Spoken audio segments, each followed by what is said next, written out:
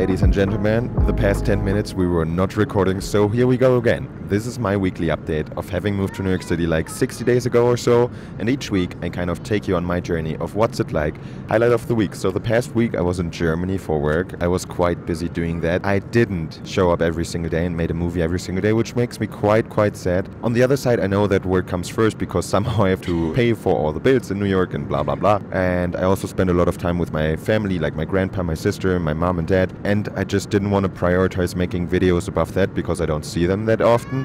Anyway, I still feel kind of frustrated because I really do believe in showing up every single day. Anyway, I'm sad that I didn't do it. But back to the highlight of the week. It was probably obviously like seeing my family. On Sunday, I watched soccer with my grandpa. That's kind of like our little quirky ritual. On Sunday, we had ice cream. I literally hung out every single day with him, and I actually also fell asleep with him every single day. And then I woke up and had to do kind of like stuff and went home. Otherwise, a big thing for a film project of ours, I was able to follow a very young, inspiring woman. Her name is Yasmin. She just turned 30 and she's the CEO of like a very big tech company with like three to 600 employees, like a very big deal. And what I really admired about her was just how straightforward she was, but still she was she was like so nice, but so like I don't know. I I really enjoyed spending time with her. She's also in New York City, so I might bump into her, which is really unrealistic though. My thoughts in general. Ooh, I'm heading to New York City right now. I was on the plane for the last six hours. Still feel fresh. Had a lovely flight. Slept a lot to be prepared for the upcoming days. That are also my thoughts. Like I really want to get back into my routine. It's like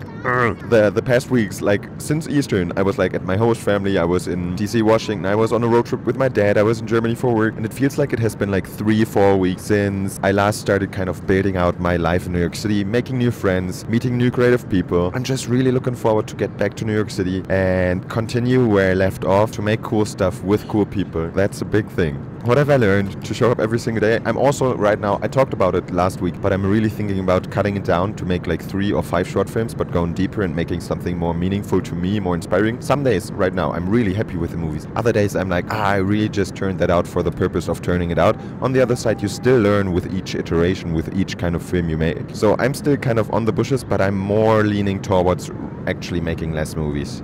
Let's see. Favorite person I've met? Yeah, definitely Yasmin Kronwald, young CEO I told you about. She's so cool. We had such a good time. Playlist of the songs I used in last week's vlog. Yeah, I didn't make a lot, so I won't make a playlist this week. Next week, if you really like that. I don't know if anybody listened to the music, so the idea behind the playlist was I make like a Spotify playlist with all the songs used in the previous vlog, kind of like a vibe for each week, having moved to New York City. Let me know in the comments. Ah, one thing. Yeah, one thing. So, two weeks ago, I asked you guys to suggest one little silly thing to try out or to do, like a bucket list thing. Please keep suggesting, and we will try those out. A couple of people have already suggested wonderful things like thrift shopping, and I don't know. If you have any ideas, go into Times Square, Borchi. That's on you. I still remember that to see if they are resetting all the clocks and stuff. Plans for the next week. It's Monday right now. I'm landing New York time at like 2, 3 p.m. After border control, taking the train and stuff. I will probably be home around like 5 or 6 ish. Today, I would really love to get a little run in in Central Park. It's super hot to maybe go to Equinox for a little spinning class, then off to some editing. And from tomorrow on, just like daily business, my days and to-do lists are packed. So big things which are still in my head, co-working space, meeting new people, making cool films. That's all I want to do. With that, a little resume on having moved to New York City. I feel like I say this every week, but I'm still very, very grateful to have moved to New York City. I'm very much looking forward to the next weeks. I really miss New York. As nice as it is to see everyone like Levin, Ricky, Tim, my family and stuff, it's so good to be back soon. Yeah, with that, we are landing in 20 minutes.